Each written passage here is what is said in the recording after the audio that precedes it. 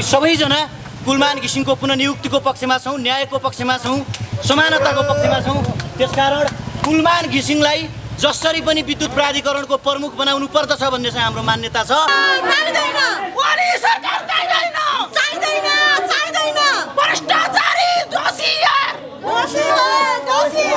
यो चोट यो चोटको बारेमा म के भन्छु भने सरकार देशभक्त समाजवादी हो भने कुलमानजीलाई अब नेपाल विद्युत प्राधिकरणको पुनः कार्यकारी निर्देशक बनाएर फेरि उहाँको चाहना हुन्छ भने सांसद बनाउनुपर्छ मन्त्री बनाउनुपर्छ भन्ने पक्षमा पुण्य गौतमले आवाज बुलन्द गर्छन् र देशको पक्षमा जनताको पक्षमा विकासको पक्षमा समृद्धिको पक्षमा जालझेल कपट विरुद्ध हामी सत्य साल जस्तो यति चोटले केही हुँदैन। द्वन्द्वकालमा धेरै चोट।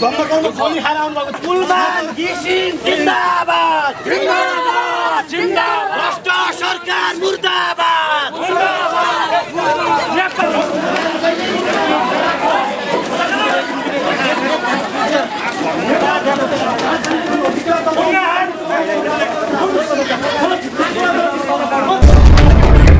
पाथी भरा क्षण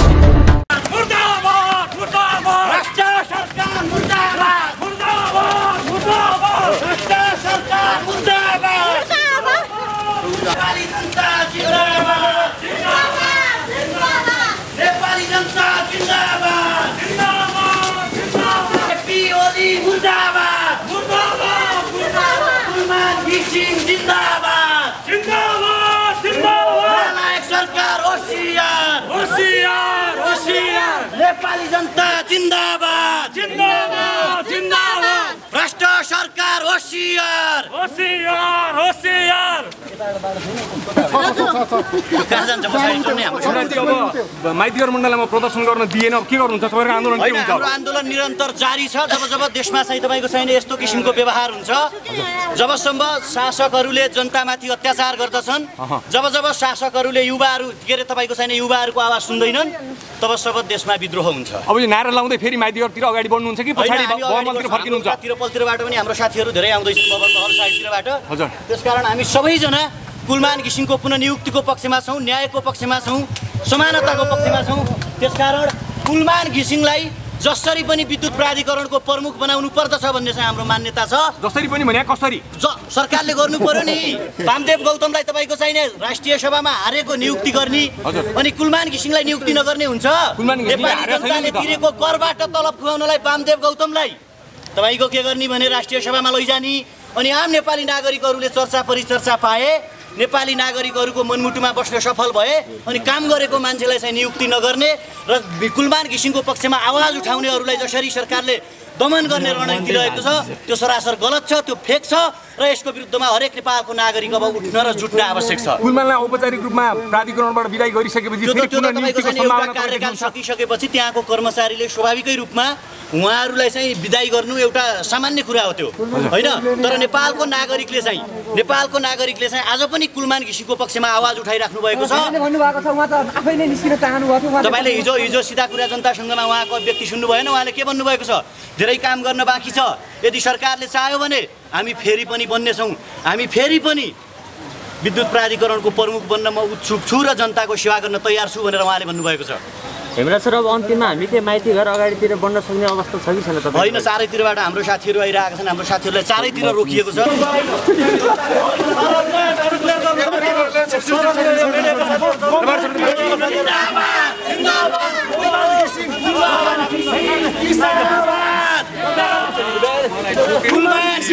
जिन्दाबाद भने नेपाली आमा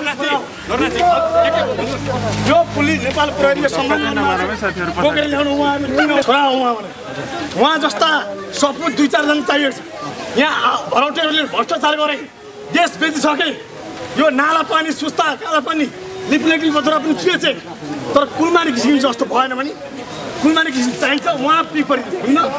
कुलमान जस्तो चाहियो। हिजो तपाईँ यही सरकारको भजन गाउनुहुन्थ्यो गुणगान गर्नुहुन्थ्यो भ्रष्टाचार गरे होइन कहाँ गरे भनेर हाम्रो थर्काउनुहुन्थ्यो होइन। आज फेरि भ्रष्टाचार गऱ्यो भन्नुभयो तपाईँ कुनै बेला गरेको थिएँ नि मैले त्यो गुणगान गएँ गाएँ। त्यो सबै कुरा। गल्ती गरेँ हो त्यति बेला? गल्ती त्यति बेला यस्तो हुन्छ।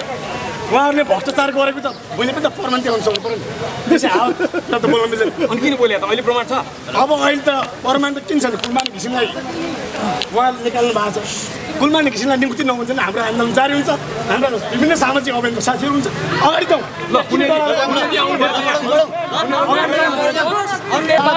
पुनः कार्यकारी निर्देशक बनाउनु पर्छ। उहाँको उच्च मूल्याङ्कन गरेर मन्त्री बनाउनु पर्छ।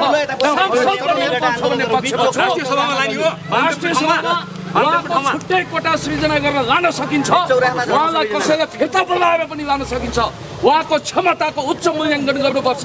नेपाललाई लोड सेडिङ मुक्त बनाउने गुलमान घिसिङको योगदान महान छ। गुलमान घिसिङलाई जिन्दाबाद भन्न चाहन्छु।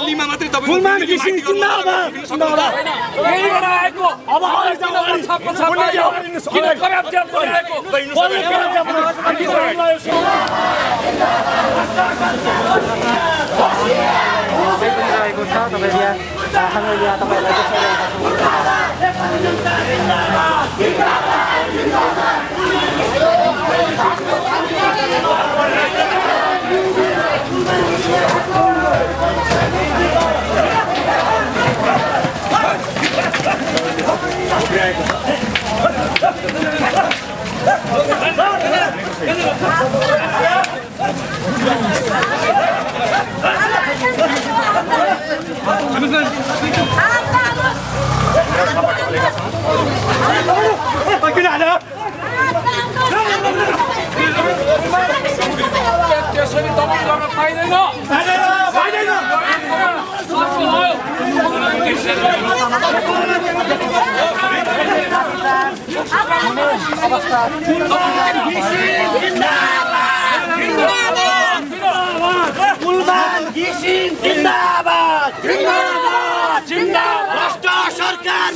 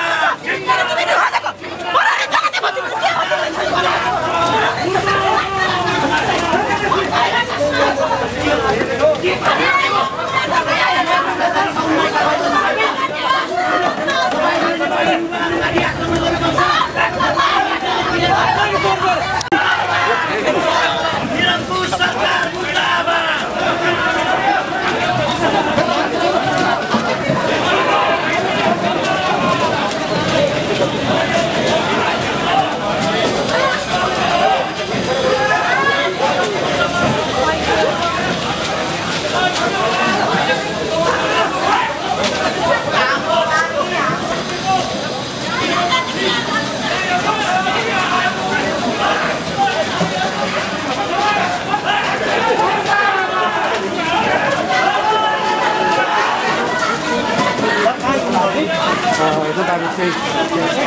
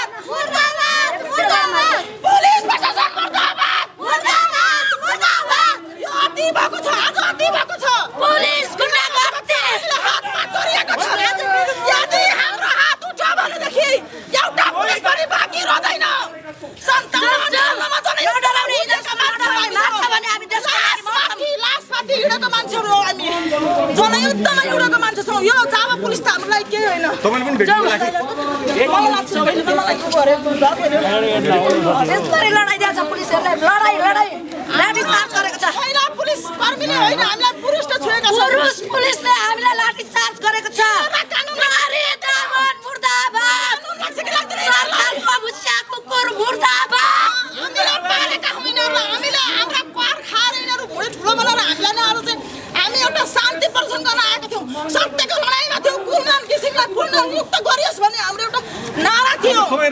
सरकार किन एउटा आएर प्रतिबन्ध लगायो माथि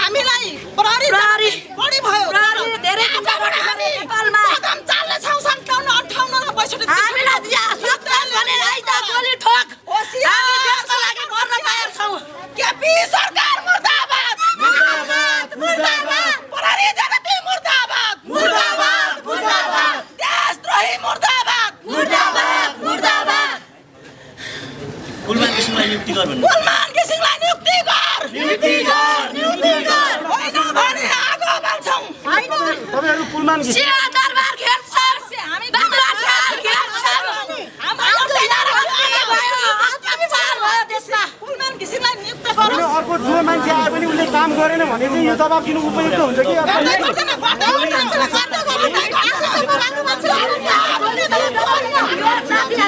पनि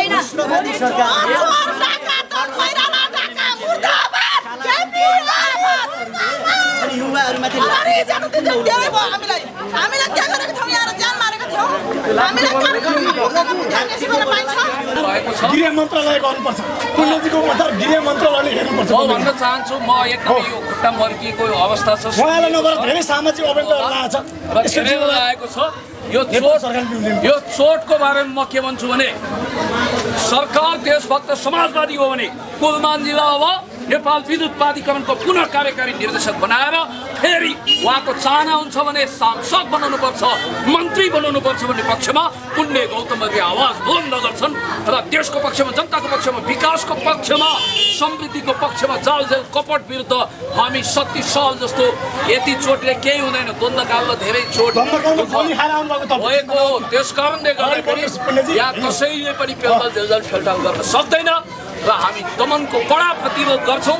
यो घाउ यो चोट यो कुनै प्रदर्शनीमा राखिएको एउटा बजारीकरण गरिएको चिज होइन र म भन्न चाहन्छु गुलमानजी तपाईँ हाम्रो चिनारी बनेको धेरै पुरानो हो र तपाईँलाई नेपाल विद्युत प्राधिकरणको पुनः अर्को कार्यकालको लागि कार्यकारी निर्देशक रूपमा देख्न पाऊँ भनेर तपाईँको कारण तपाईँलाई शुभेच्छा गर्दा सोनाम धन्य प्रशासन गुलमानजीको हामी पक्षमा लबिङ गर्दा यो चोट पार तपाईँ जनआन्दोलनमा लाग्नु भएको र गोली समेत खानु भएको मान्छे यस्ता लाठीबाट डराउनु भएको होइन यस्तो होइन, होइन। दुखिरहेको छ अब तपाईँ देखाउने र नदेखाउने हुन्छ। यस्तो हो। तुलना गर्ने होइन चोट देखाउने हो त तपाईँ एउटा जाउँ एकछिन एकछिन तुलना गर्ने कुरो होइन मैले भन्न खोजेको के भने प्रहरी साथीहरूले देशभक्त भर्तीवाल हुनुहुन्छ भने मानव अधिकारको ट्रेनिङ लिनुभएको छ भने उहाँहरूले यसलाई सम्मान गर्नुपर्छ मानव अधिकारलाई कसैलाई पनि चोट लगाउने देशभक्त प्रहरीले देशभक्त नागरिकलाई हान्दैन तपाईँहरू देशभक्त किन त्यस्तो। भयो यहाँ देशभक्तिको अभाव कि प्रहरीभित्र म यो कुरा प्रश्न सोध्न चाहन्छु? किन डराउनु हजुर। तपाईँ चाहिँ डराउनुहुन्छ कि हुन्न? हेर्नुहोस् एउटा कुरा के भने बहादुरीको अर्थ मूर्खता होइन। ज्ञान सिप क्षमताको प्रयोग गर्नुपर्छ। त्यस कारणले हामी साहसका साथ कुलमानजीको लागि ज्यानै दिन तयार लट्ठी बोकेर हिँड्या मान्छेले के ज्ञान सिपको प्रयोग गर्ने? लट्ठीको प्रयोग गर्ने हो नि? लट्ठी त सदुपयोग गर्नुपर्छ। गर्ने। दुष्ट मूर्ख अपराधीलाई लट्ठी हान्ने कि तर्साउनु पर्छ हान्न असल पाइन्न मान्छेलाई राज्यले गर्न पाइँदैन भने कुरा तपाईँहरूले गरिबी तपाईँलाई नहाने एउटा कुरा के भने गर्न पाइँदैन भनेर कहीँ लेखेको छैन। सिडिओ के? सुपर सरकार हो। सिडिओको आदेश अन्तिम आदेश हो। सिडिओलाई सिडिओ एउटा कर्मचारी हो। भोलि मर्निङ वाकमा हामीसँग कफी खान पनि नपाउन सक्छ। सिडिओ एउटा कर्मचारी हो। उहाँको आदेश जङ्गेको आदेश होइन। त्यो हक नाग्नु हुँदैन। अब अगाडि बढ्नुहुन्छ माथिको निश्चित रूपमा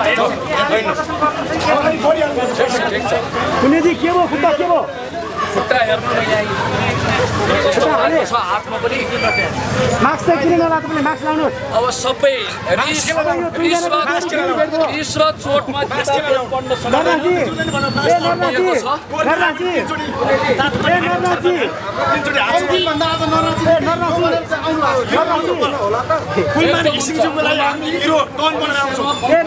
हुनुपर्छ के हो यो तपाईँले कुर्छु भन्नुभएको यहीँ आइपुग्नु होइन म अहिले कुटिहाल्यो दाइको सम्मान गर्छु अरूले उहाँको वारिसै भनेर पनि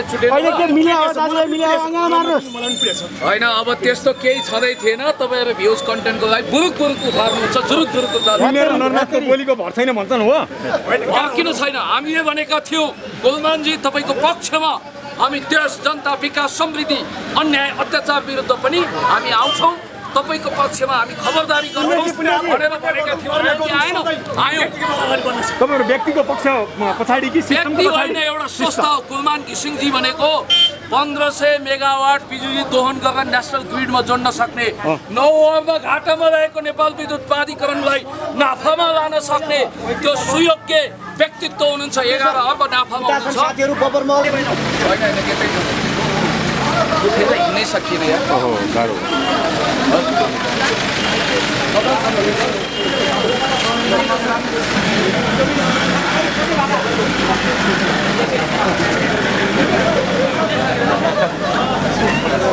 देख्नुमा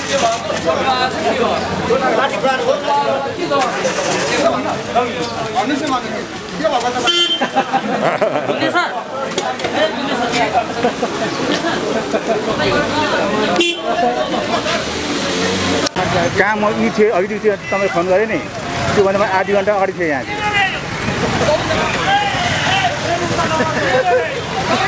यताबाट